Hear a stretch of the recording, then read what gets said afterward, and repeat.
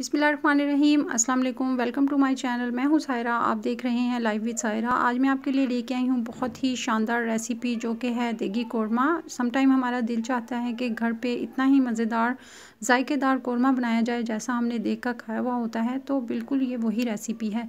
बहुत ही ज़बरदस्त, इतना ही दानेदार और जायकेदार हम इसको बनाएँगे जैसा हम देख जायका मिस कर रहे होते हैं, बहुत ही ज़बरदस्त बना भी, बनाना भी बहुत ही आसान है। घर में मौजूद इंग्रेडिएंट से इसको बना सकते हैं। इसको बनाने के लिए सबसे पहले एक बड़े साइज़ का या दो मीडियम साइज़ के प्याज ले लेंगे और इसको बारीक स्लाइसिस में काट लेंगे और इसके जो लच्छे हैं उनको इस तरह से सेपरेट कर लेंगे ताकि जब हम इसको फ्राई करें तो ये बहुत क्रिस्पी सी फ्राई हों।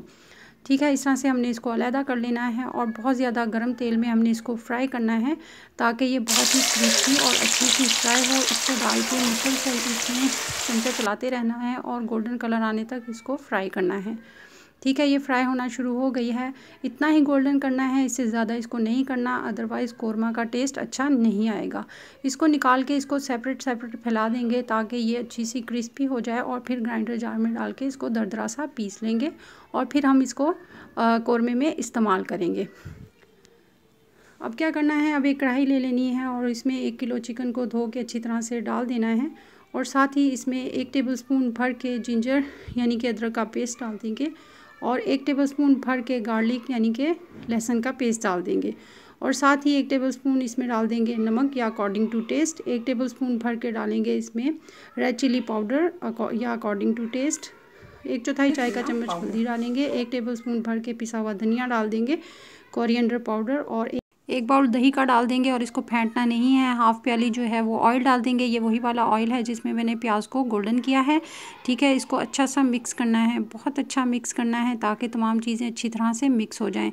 ये देखें कितना अच्छा लग रहा है। ये बहुत ही ज़बरदस्त इसको बहुत अच्छा सामने मिक्स कर लिया है। अब हम इसको पंद्रह मिनट के लिए कवर करके लो फ्लेम पर पकाएँगे। ठीक है मीन वाइल जितने चिकन पक रहा है, हम गरम मसाला तैयार कर लेते हैं। इसमें हमने आठ से दस अदद जो है, साबुत काली मिर्चें ले ली हैं, चार अदद हमने लौंग ली हैं, ठीक है। एक जायफल का छोटा सा टुकड़ा है, काफ़ी स्ट्रॉन्ग टेस्ट होता है, इतना ही लेना है। एक बड़ी इलायची है, ठीक है, एक बादियान खताई का फूल है, इतना ही छोटा सा लेना है, ज़्यादा बड़ा नहीं लेना। और एक जो है वो सिनीमन यानी कि दार चीनी की स्टिक है, ये टूटी हुई है, आपने एक ले लेनी है, चार अदर जो है वो, सब्ज़ इलायची है, वो ले लेनी है। एक जो है ये तेज़पात का पत्ता है और एक टीस्पून आपने ले लेना है ज़ीरा। ठीक है, ये बहुत अच्छा टेस्ट डिवेलप करेंगे और ये एनफ है इतने कौरमे के लिए। ठीक है, इसको आपने ग्राइंडर जार में डाल के दरदरा सा पीस लेना है, बिल्कुल बारीक पाउडर नहीं बनाना। तो पंद्रह मिनट हो चुके हैं, चिकन जो है बहुत अच्छे से कुक हो रहा है। ये हमने इसमें बिल्कुल भी पानी नहीं डाला, ये वही पानी है जिस, ये दही का पानी है।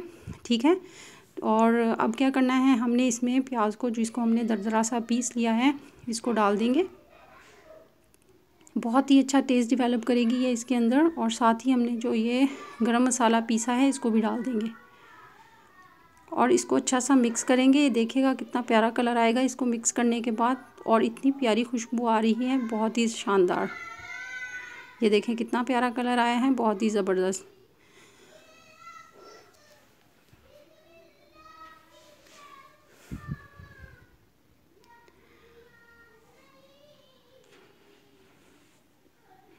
बहुत ही अच्छा सा हमने इसको मिक्स कर लिया है और मज़ीद इसको हम 10 मिनट के लिए कवर करके कुक करेंगे ताकि ये अच्छी सी थिक ग्रेवी में कन्वर्ट हो जाए और जो चिकन में थोड़ी सी कसर रह गई है वो भी अच्छी तरह से गल जाए। ठीक है दस मिनट के लिए इसको दोबारा से कवर कर देंगे। तो दस मिनट हो चुके हैं ये देखें कितना ज़बरदस्त कौरमा तैयार हुआ है बहुत ही ज़बरदस्त दानेदार।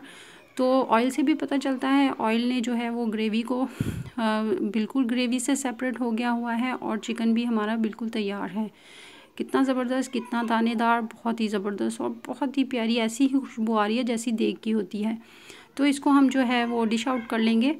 बहुत ही ज़बरदस्त। इसको नान के साथ, खमीरी रोटी के साथ या चावलों के साथ सर्व करें। बहुत ही शानदार। कितना ज़बरदस्त दानेदार तैयार हुआ है। उम्मीद है आपको मेरी आज की रेसिपी ज़रूर पसंद आई होगी।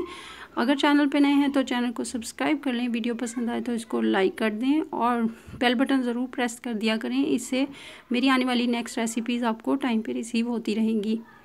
और दुआ में याद रखिएगा। अल्लाह हाफिज़।